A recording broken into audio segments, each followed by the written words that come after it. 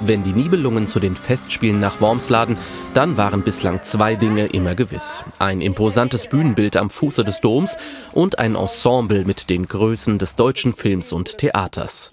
Die beeindruckende Bühne soll es auch in diesem Jahr geben. Von einzelnen Superstars hat man sich aber bewusst verabschiedet. Das Team steht im Vordergrund. Für mich sind wirklich diese SchauspielerInnen, die auf der Bühne stehen werden, das sind für mich alles Stars. Das sind alles super intelligente, wahnsinnig schlaue, gute, hoch, qualitativ hochwertige SchauspielerInnen, die aktuell im deutschsprachigen Raum arbeiten oder in der Performance-Szene arbeiten. Und das finde ich einfach großartig. Es geht, ähm, auch diese Menschen haben alle einen Namen, aber sie sind quasi noch am Beginn, dass ihr Name international bekannt wird. Das ist das Ensemble, jung, bunt und zum Teil auch ganz schön schrill, zumindest für Wormser Verhältnisse. Was alle eint, die Vorfreude auf die Festspiele im Juli. Ich bin wahnsinnig aufgeregt. Ähm, das wird eine sehr intensive Zeit. Ich habe noch nie Freilichtbühne gespielt. Ich habe mir das gestern das erste Mal angeschaut. Hey!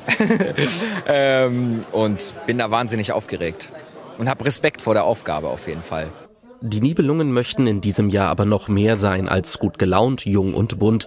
Sie wollen brechen mit den klassischen Rollenbildern. So verwundert es nicht, dass mit Ruby Comey eine Frau den Hagen verkörpern wird. Ich äh, entdecke ganz oft auch äh, maskuline Seiten an mir, aber auch ganz total weibliche ähm, Seiten und ähm, deswegen war das für mich so selbstverständlich. Ja klar spiele ich einen Hagen. Also wirklich so habe ich geantwortet, als ich die Anfrage bekommen habe. In der Vergangenheit waren die Aufführungen immer sehr anspruchsvoll, zum Teil auch, so war es zumindest aus dem Publikum zu hören, ein wenig extravagant und nicht für jeden zugänglich.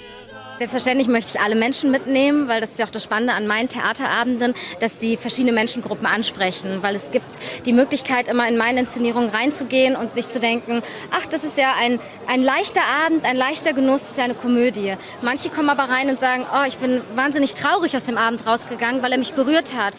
Ob das Stück zum Lachen ist, zum Weinen oder vielleicht auch zum Verzweifeln, möglicherweise auch alles zusammen. Die Premiere ist in zwei Monaten.